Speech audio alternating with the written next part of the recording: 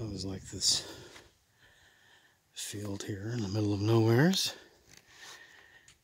by the Joe Ranger Road, about half mile more than that, about a half hour walk in.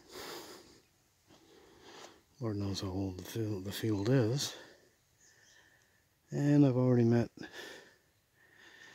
uh, five hikers, two through, and three very obvious like me day hikers. This is really nice.